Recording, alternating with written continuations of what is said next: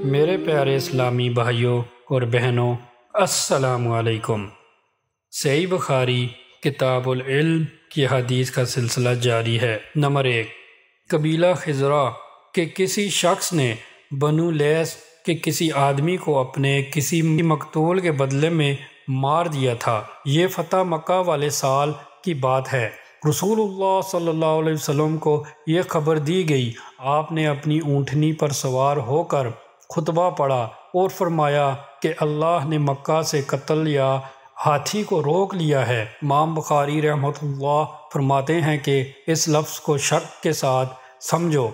ऐसा ही अबू नईम वग़ैरह ने अलकतल या अलफ़ेल कहा है। इनके अलावा दूसरे लोग अलफ़ेल कहते हैं। फिर रसूलुल्लाह सल्लल्लाहु अलैहि वसल्लम ने फरमाया कि अल्लाह ने इन पर अपने रसूल और मुसलमान को गालिब कर दिया और समझ लो कि वो मक्का किसी के लिए हलाल नहीं हुआ। न मुझसे पहले और ना आइंदा कभी होगा और मेरे लिए भी सिर्फ़ दिन के थोड़े से हिस्सा के लिए हलाल कर दिया गया था।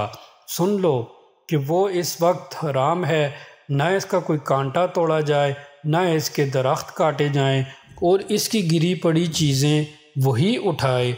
जिसका मंशा ये हो कि वो इस चीज़ का तारफ़ करा देगा। तो अगर कोई शख्स मारा जाए तो इसकी अजीज़ों को अख्तियार है दो बातों का, या दीद ले या बदला। इतने में एक यमनी आदमी अबू शाह नामी आया और कहने लगा, ये मसाइल मेरे लिए लिखवा दीजिए।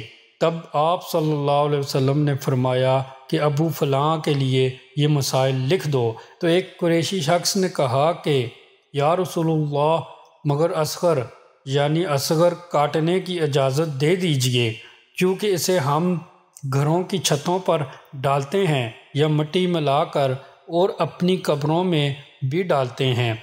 ये सुनकर रसूलुल्लाह सल्लल्लाहु अलैहि वसल्लम ने फरमाया कि हाँ मगर असगर मगर असगर।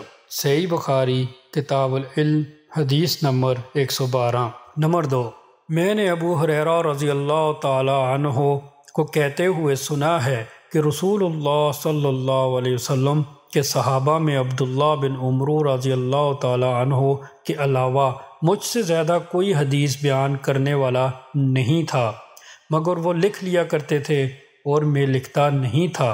दूसरी सनत से मामार ने वहाब बिन मनबा की मताबत की, वो हमाम से रवायत करते हैं और अबू हरेरा रज़ी अल्लाह तनों से।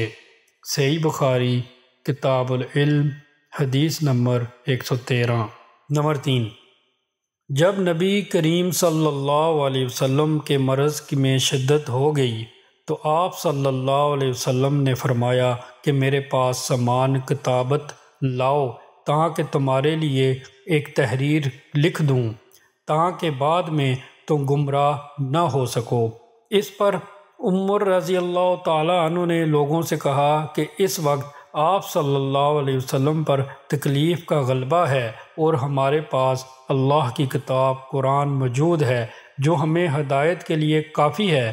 इस पर लोगों की राय मुख्तलफ हो गई और शोर गुल ज़्यादा होने लगा। आप सल्लल्लाहु अलैहि वसल्लम ने फरमाया, मेरे पास से उठ खड़े हो, मेरे पास झगड़ा ठीक नहीं है।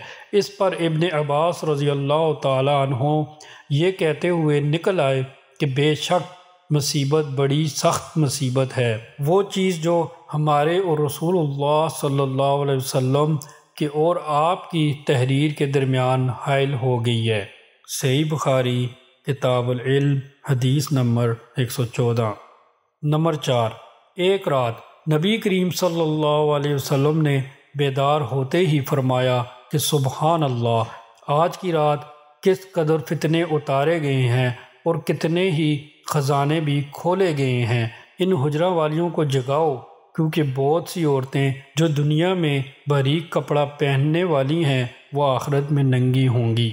सही बुखारी किताबुल इल्म, हदीस नंबर 115 प्यारे दोस्तों, हमारी हौसला अफजाई के लिए और मज़ीद अदीस के लिए हमारे चैनल को ज़्यादा से ज़्यादा सब्सक्राइब करें और बेल के आइकन पर क्लिक करना ना भूलिएगा। जजाकल्ला